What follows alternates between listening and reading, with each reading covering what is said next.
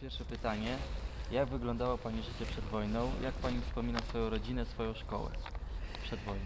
Przed wojną to wspominam wszystko bardzo dobrze, tylko że ja byłam mała, Mhm. więc przed wojną to najpierw to chodziłam z nianią na spacery, a do szkoły jak poszłam, to chodziłam tylko dwa lata, bo wybuchła wojna. Więc to było najlepsze życie, właściwie moje się skończyło wtedy, 1 września konkretnie. Ojciec mój pracował w zakładach lotniczych na Okęciu. Był tam dyrektorem działu technicznego. Był konstruktorem silników. Notabene dostał parę nagród za to. A moja mama, jak przed wojną, prowadziła dom z braćmi tutaj moimi. Chłopcy chodzili do szkoły. Jeden do Staszyca, do Staszyca właśnie, potem do Ziemi Mazowieckiej. A- Było, pierwsze było to lotnisko na Polach Mokotowskich, a potem powstało na Okęciu, tak? Taka była kolejność. Więc ja tak jak pamiętam, to tutaj na, na polu mokotowskim to lądowały samoloty takie dwupłatowce i mnie w wózku, bo ja przecież miałam wtedy no, 5 lat, naprawdę niedużo pamiętam, ale te samoloty robiły na mnie takie wrażenie, bo to policja przepędzała te niańki z dziećmi i myśmy uciekali, no, a te niańki uciekały samolot nadlatywał, robił się pisk i uciekaliśmy Wawelską do domu. Ale tu, ponieważ było blisko, ładne słońce, to na te pole mokotowskie się chodziło. A jak Pani wspomina szkołę na przykład? A szkołę, do szkoły to poszłam do Szachtmajerowej. To był piękny gmach Róg Białobrzeskiej i Radomskiej, nowo wybudowany, nowisieńki, były nie, nietypowe sale dla niższych klas. Dziew, dzieci się, dziewczynki, to była szkoła przezgężejska. Chłopców tam nie wpuszczano. Dopiero w czasie okupacji chłopcy zaczęli chodzić też. Nie było ławek, tylko były stol, stoliki o takie na okrągło. Dzieci siadały, takie były nowoczesne metody. Było piękne boisko, była piękna sala gimnastyczna. No naprawdę na Tryski szkoła była kapitalna, ale Trysko trwało do 1939 roku, ponieważ Niemcy szkołę zajęli dla siebie. Potem zrobili tam szpital. Już jak była wojna, wybuchła wojna ze wschodem, to tam był szpital. Lotnicy niemieccy tam leżeli. A myśmy, ponieważ część tej szkoły była tak zbudowana, tego gmachu, że w takiej literę C, część mieszkały nasze dyrektorki. To pięć sióstr prowadziło tą szkołę. Każda miała je- jedno mieszkanie na piętrze, więc szkoła się przeniosła do tych mieszkań dyrektorek, a to byli wszystko Niemcy. Ale szkoła oczywiście była, nie, nie można było chodzić do szkoły, bo szkołę Niemcy likwidowali, tylko to był zrobiony, że to się nazywa kursy krawieckie, myśmy chodziły. To się nazywał czwarty żeński miejski kurs krawiecko-bieliźniarski. O, To nieźle Pani pamięta. Pamiętam, miały to wyryte, i książki się nosiło albo pod, za pazuchą, albo jakoś tak. Tu miałyśmy rozłożone jakieś szycie. Jak nie, parę razy była rewizja, no to się szyło jakieś tam koszulki czy coś. A program przerabiała nauczycielka z głowy. Bo to, no, ale to były niższe klasy, więc to u mnie to nie było takiego, takiego wielkiego e, e, rem- przerażenia. Najwięcej to było w tych klasach licealnych, to, to, gdzie już tam było na ten. Także tu A jak, jak Pani wspomina na przykład, y, dużo się zmieniło na Ochocie w kontekście przedwojnia i teraz, bo tutaj jednak dużo się zachowało kamienic starych. kamienic starych się zachowało dużo, z tym, że jak ja y, po skończonej, po skończonej wojnie, to znaczy jak wkończyły, wkroczyły te oddziały rosyjskie, to 18 stycznia już wróciłam z Komorowa, bo potem byłam w Komorowie w tym swoim domu. Mhm. No, wszystkie domy były spalone. Wszystkie. Łącznie z, z tym, który był spalony 5 sierpnia, ten dom. Tak. Ludność była wypędzona na Zieleniak Gr- Grujecką. I te domy, wszystkie łącznie z domem akademickim były spalone. Te zdjęcia z tego okresu są no, koszmarne, bo puste takie okna powypalane. Nawet te domy takie mało właściwie y, atrakcyjne przy tym, przy, y, naprzeciwko tego parku, gdzie jak to się nazywa ta ulica, znaczy Raszyńska i ta boczna, y, Niemcewicza? Nie. nie, nie, te, te, te willowe takie jednorodzinne, to one nie tyle były spalone, ile były z, wy, wyszabrowane i zrujno- zrujnowane. Mhm. Te większe były popalone. I tutaj się bardzo, ale już jak przyszłam tu w styczniu, to już byli szabrownicy. I co można było, to szabrowali. Przede wszystkim metalowe rzeczy, kuchenki, fajerki, bo każdy sobie robił jakieś coś do gotowania. No, to była zima, był strasznie wysoki śnieg. Ja przyszłam wtedy z takim kolegą i jego siostrą z Komorowa na piechotę. I na piechotę wróciłam. Ja nie mogę w to uwierzyć, te 20 kilometrów. W zimę? W zimę, no 17 stycznia. 18, bo 17 wkroczyły wojska. No ale człowiek był taki rozentuzjazmowany. No to z tego domu, ze swojego mieszkania, to były tylko spalone, taka stała biblioteka, gdzie były wypalone książki, takie po- spopielone, do sufitu, cała ściana. I w kuchni już nam ukradli w, w tą płytę z kuchni i fajerki. No tak, rozkładali wszystko co... Tam każdy, robili sobie jakieś tam gotowanie. Y, A jak Pani wspomina kampanię wrześniową i odpieranie ataków na linii Ochoty? Bo tutaj generalnie Ochota się broniła, broniła dostępu do Warszawy. Nie, jak, jak w niemieckimi- 1939 roku, jak się zaczęła wojna, to, to ja byłam w Komorowie, Aha, a mój ojciec z chłopcami szli na wschód, bo wtedy było, był taki, żeby mężczyźni szli na wschód.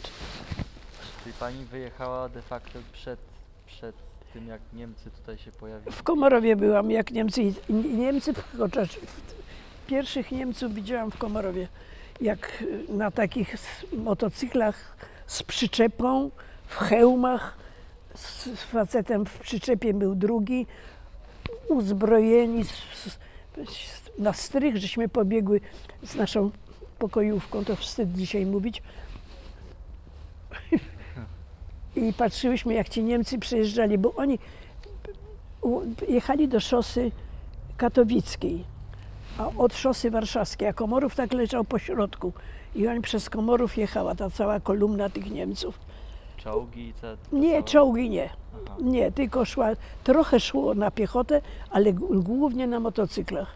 Mhm. To było, to było we wrześniu jeszcze jak Warszawa nie była zajęta. No tak. A potem tą samą drogą, jak się wojna skończyła, to w drugą stronę wracali. Ale już nie tacy wspaniali. No tak. Jak wyglądało życie codzienne na Ochocie w okupowanej Warszawie? Czy pani przeżyła większość tego czasu? No pamiętam tak, no, wszystkim każdy zarabiał jak, jak mógł, albo, albo się sprzedawało, handel taki szedł. Mhm. Poza tym albo się piekło, panie niektóre piekły ciasta, ciasteczka, sprzedawało się, był rynek na placu Narutowicza, tam był taki ryneczek. I Handel to szedł już wtedy, ja się tak tym specjalnie nie interesowałam, bo już zaczęłam chodzić do, do, do szkoły. a pani mama na przykład też sprzedawała jakieś rzeczy? Mama sprzedawała trochę biżuterii i trochę, wiesz, nie, ojciec nie, już nie, oczywiście nie pracował. Potem zaczęli przyjeżdżać do Komorowa Niemcy, żeby podjął pracę, bo ojciec mój kończył studia w Niemczech i w ogóle znał perfektnie języki i dużo jeździł po świecie. Był znanym konstruktorem, ale nie chciał pracować, nie odmówił pracy. Powiedział, że jest chory na serce, że nie może. Także właściwie nie pracował. Potem zaczął wykładać w szkole Wawelberga przed samą, ale to już przed powstaniem, to w czasie okupacji już jakiś 42 rok, może trzeci. I, I ten handel odbywał się normalnie le, legalnie za przyzwoleniem. Ale gdzie tam legalnie? No znaczy wchodziły po domach w, kom, w Komorowie na przykład też, bo ja tak częściowo mieszkałam tu, częściowo w Komorowie. W, na przykład pani, m, pani Młynarska, Magdalena, matka Wojtka Młynarskiego, nasza sąsiadka w Komorowie, to ona na przykład robiła herbatę. Paliła, y, suszyła skórki z jabłek Jakoś się potem paliła karmel, żeby był kolor. W buteleczki takie wlewała i dolewała, bo przecież nie było herbaty. Do wody się dolewało jako herbatę. Myśmy tą herbatę nazywali Magdunia. I ona roznosiła to po domach i to się kupowało, tą Magdunię. Ona tak dorabiała też jakieś inne rzeczy. No.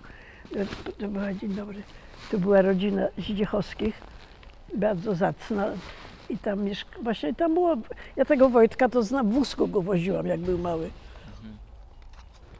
No to ciekawe. A Bo- jak pani wspomina dzień wybuchu powstania i generalnie przygotowania do godziny W?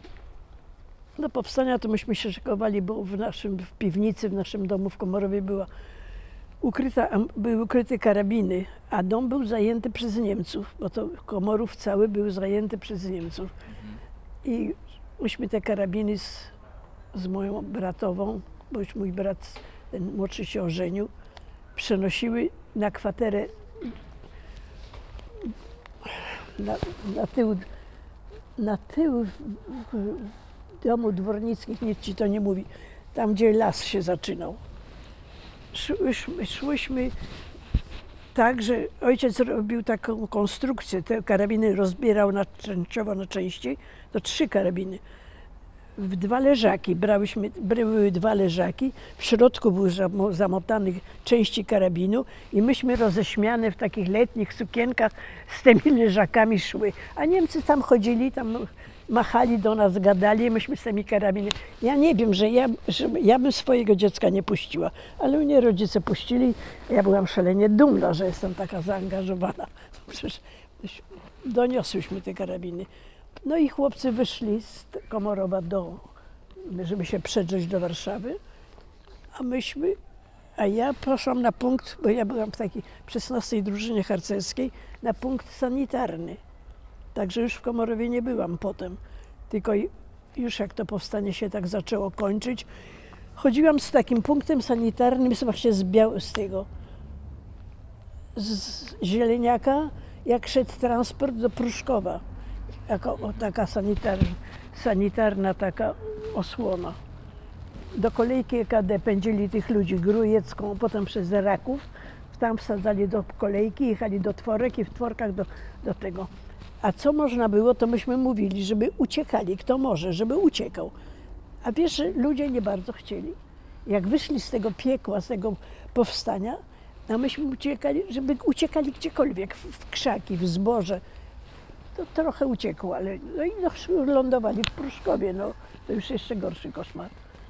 No słyszałem, że kolejarze specjalnie zwalniali Tak, pociągi, tak, mogli przed, przed Salomeją. Tak. Bo to w Salomei był taki zakręt i tam wyskakiwali, ale myśmy już mówili, bo ci, ci Niemcy, którzy konwojowali to, to nie byli młodzi, prężni tacy tego Wehrmachtu, tylko już tacy starsi bo już Mhm. do takiego konwoju, no ale strzelać mogli. Tak. A ci- Pruszkowa to gdzie A z- dalej wywozili?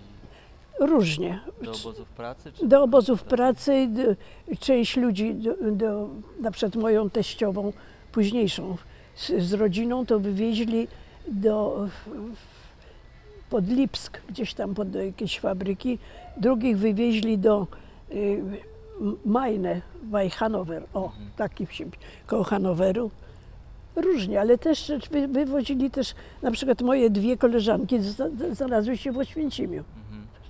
Także to, to nie było chyba reguły, gdzie wywożą.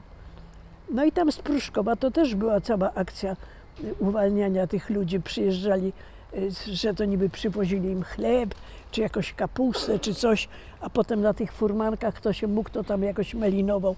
Ale to były jednostki, no to nie ma było mowy o jakimś... Pani bracia i tata walczyli w powstaniu? Czy... Mój brat tak zginął 5 sierpnia. A mój ojciec został aresztowany w Komorowie, przyszli po niego. Gestapo przywieźli go do Pruszkowa. Z Pruszkowa go przywieźli do Buchenwaldu. I w Buchenwaldu oddział Tykla pod Lipskiem. I zlikwidowali ten obóz na pół, na parę godzin przed wyjściem wojsk amerykańskich. Już Amerykanie wchodzili do Lipska, a oni zlikwidowali obóz. Podpalili obozy i z tych wieżyczek strzelali. Tam zginęło bardzo dużo ludzi. Także nie mam tylko taką wiadomość, że tam zginął, ale nic, żadnych dokumentów, nic. A w dniu wybuchu powstania o godzinie 17 pani była tutaj na Ochocie, czy... Nie, ja byłam w Komorowie, tam w, tej, w, tym, na, w tym, żeby się przedostać do Warszawy, do tego punktu sanitarnego, bo to taki był rozkaz. Także A jak pani wspomina rzeź Ochoty i zbrodnicze działania Półkurona? Yy, Czy ma pani w pamięci jakieś szczególne obrazy? Ale co, ja nie, nie Jak zrozumiałam. pani wspomina rzeź Ochoty i zbrodnicze działania, działania Półkurona? Czy, czy była pani świadkiem tych, tych zdarzeń? E, tutaj jak właśnie mordowali ludność Ochoty? Nie. Powstania? Nie, tutaj tylko byłam. Tu na Rogu Grójeckiej i Wawelskiej rozstrzeliwali Polaków, ale to nie w czasie powstania, tylko wcześniej. Tam jest zresztą tablica. Nie, tutaj na Ochocie to... Nie, tutaj wyszłam stąd.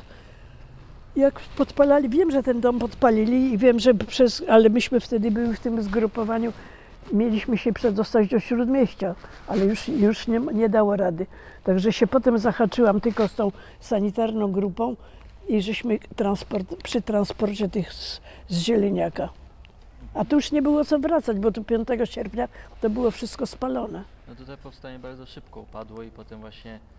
No ten dom naprzeciwko, ten na Mianowskiego, to oni się tam bronili do 11. Tak, tak, tak. Tam dużo ludzi zginęło. I potem przeszli kanałami do Śródmieścia, tam są tablice. Tak, tak, to czytałem właśnie, że, że mieli taki swój szlak. E, no bo tutaj generalnie na Ochocie to zginęło 10 tysięcy ludzi w 3 tygodnie, niecałe. I, no i dosyć straszne rzeczy się tu działy. Poza rzezią Woli to taka chyba największa rzecz No z wolą to lepiej się nie równać, bo wola to była hek- heka- hekatomba. Ale tu takiego masowania, masowego mordowania nie. To ochota, to co ginęli, to chyba zieleniak to wciągnięty jest w tą liczbę. bo tak, zie- tak. tak, bo tam to była y, masakra. Znaczy ja słyszałem też o masakrze w kolonii Staszica, w Instytucie Radarowym, gdzie tutaj właśnie ci... Ale kolonia Staszyca, no to to jest kolonia Staszyca. Znaczy myślę bardziej tam w stronę... takiej A tu kolonia Staszica. Lubeckiego, to jest kolonia Lubeckiego. A, okej, no tak. Bo ja pamiętam, że te, na książkach mo, moich braci to napisane Pługa, kolonia Lubeckiego. Tak, to, to była kolonia Lubeckiego. Mhm. Mm, A jak Pani wspomina dalsze losy powojenne? Jak Pani wspomina odbudowującą się Warszawę w tych, w tych pierwszych latach po wojnie? Gdzie tutaj właściwie nic nie było i tak jak Pani mówiła, pracowali szabrownicy i generalnie... Nie, więc tutaj to było wszystko wypalone do, do, do kości. Ale się za, za, zaczęło się odbudowywać, bo jak ja przeglądam protokoły zarządu naszej spółdzielni, to tu się, się nie zbierali, tylko w takim śródmieściu przy, przy kościele Zbawiciela, na te, w tej uliczce takiej były zebrania. Zgłaszali się członkowie spółdzielni. Spółdzielni mniej zniszczony był ten dom tamten nasz, ten, tej, Mhm. pod trójką. Naprawdę był, mniej, mniej się jakoś spalił. W związku z tym od razu go zajął kwaterunek na wodzie. Także już członkowie spółdzielni zostali tam wpuszczeni. I myśmy praktycznie byli odgrodzeni od tamtego domu. Tu był, tak jak ty nie pamiętasz już Pamiętam, tu śmietnik był. Pamiętasz śmietnik i mur. Mur. Tak, i tam to była nasza spółdzielnia, ale tam nie mieszkali członkowie. Aha. A te, resztę tych członków, którzy przeżyli i którzy się zgłosili, no to ten, ten zarząd jakoś dzielił te mieszkania.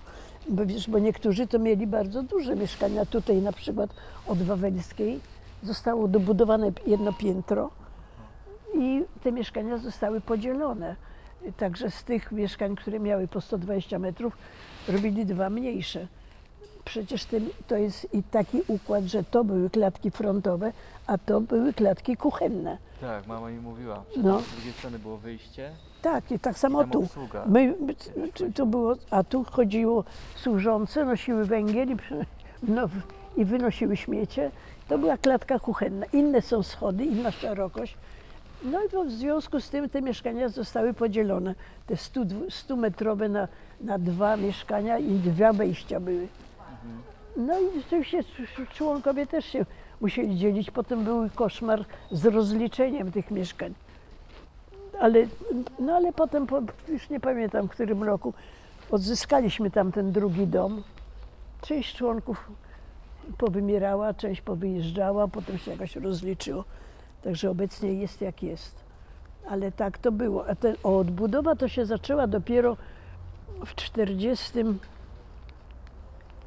chyba szóstym roku, bo pamiętam, że jak były pierwsze zebrania, to moja mama mnie zgłosiła już jako członka spółdzielni, ale ja byłam niepełnoletnia i nie mogłam być członkiem spółdzielni. Nie miałam jeszcze dowodu.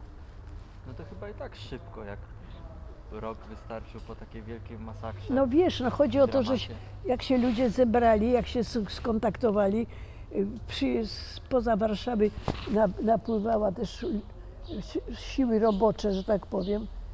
No, odbudowało się, no.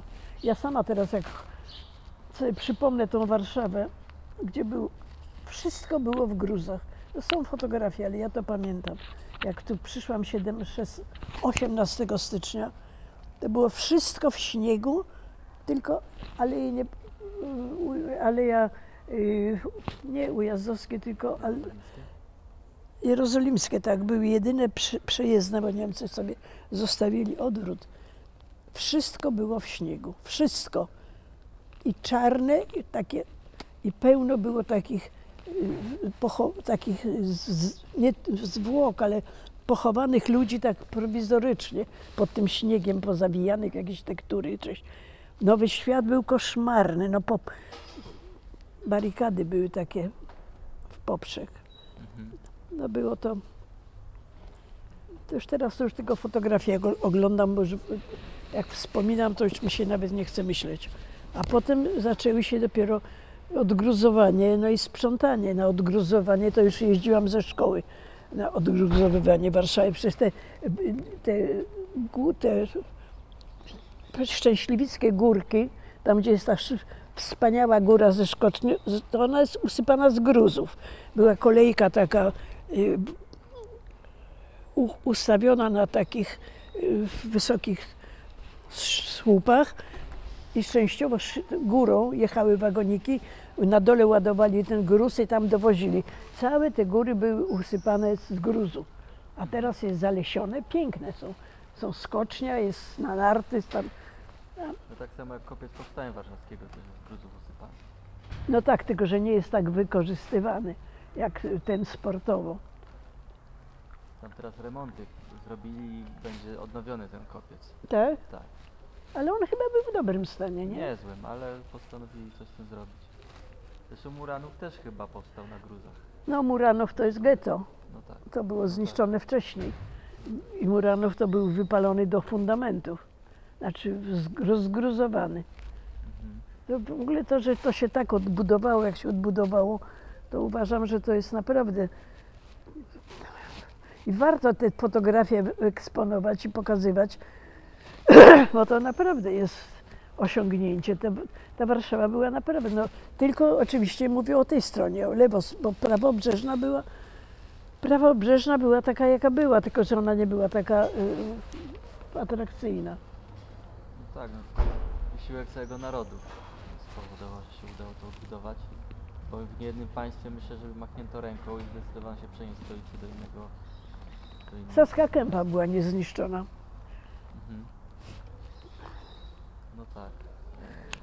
E, Ale co generalnie pani robiła zawodowo potem w latach już powojennych? A zawodowo to skończyłam szkołę, zdałam maturę i poszłam na studia.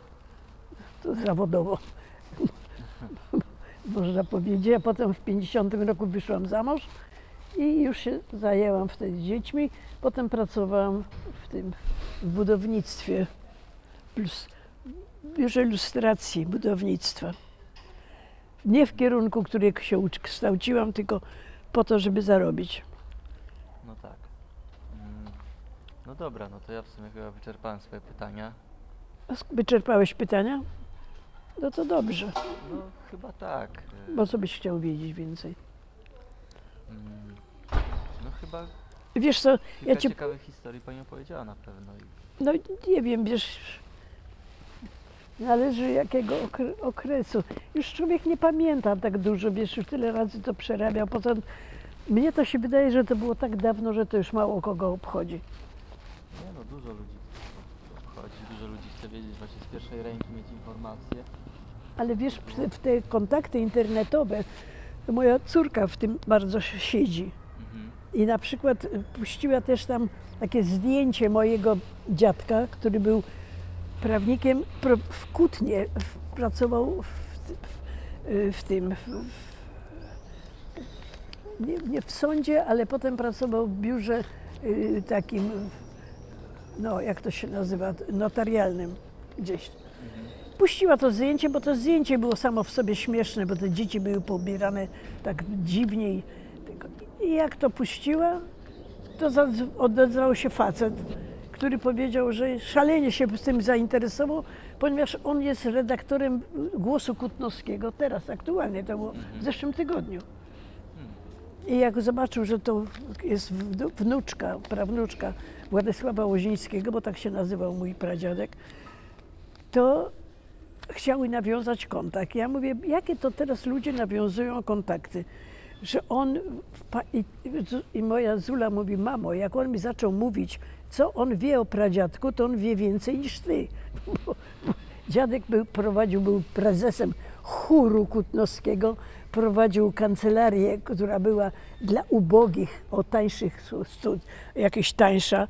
W ogóle był no, znaną był postacią na pewno, ale żeby aż tak się ludzie kontaktowali, ja jak przeglądam stare listy, wiesz, takie, które się zachowały jeszcze sprzed wojny, to mnie to rozśmiesza, bo na przykład są listy do mojego dziadka napisane tak. Wielmożny pan Władysław Łoziński, Kutno i koniec. I te listy dochodziły, nie ma ulicy, nie ma adresu. No, wiesz, no to jest nienormalne w ogóle. No tak. A poznała Pani bezpośrednio na przykład jakąś osobę związaną z, pos- z powstaniem albo, albo kogoś, kto potem się wyróżnił w powstaniu? Nie, powstałem, powsta- tych, co przeżyli generałów, mój wuj, czyli mój chrzestny wuj, generał Skorczyński był generałem Armii Krajowej pseudo-Łaszcz.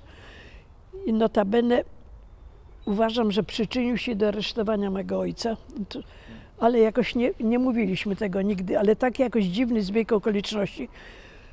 Napisał z, z obozu taki list, Kriegsgefangenenpost, jak go wywieźli po powstaniu, bo po- podpisywał powstanie razem z Borem Komorowskim. Podpisywał upadek powstania, potem był przewieziony do Niemiec i napisał do mego ojca list tego obozu, podając swoje dane. I, te, I do swego brata, który mieszkał w Pruszkowie. Jego brat był chory i mało się co ruszał. Dzień dobry. I na drugi dzień przysło gestapo, aresztowało tego brata i mojego ojca po tym liście. To raczej nie wygląda to na przypadek. No właśnie. I, i, i tak samo zginął mój ojciec i ten brat jego zginął, w- tylko w innym obozie. A listy, a wuj napisał w pełnym wymiarze, generał Armii Krajowej i tak dalej. No, Wykazał, powiedział, to konwencja genewska go chroniła. Był naiwny, no po prostu do, do bólu. A był mężem siostry mego ojca, więc to bliska rodzina. I po wojnie jeszcze no, się kontaktowałam z nim, tam przychodzili do niego ci oficerowie, co przeżyli gen- ten Iranek Osmecki, przychodził tam, wuj pisał wspomnienia, pisał tam, ale to wszystko już było, jak to się mówi, po wszystkim, Po jabłkach. po herbacie. No dobrze, no to myślę, że Pani dziękujemy za ten, A co ty z tego tego będziesz robił, przyznaj mi się? no Przecedzisz, odcedzisz?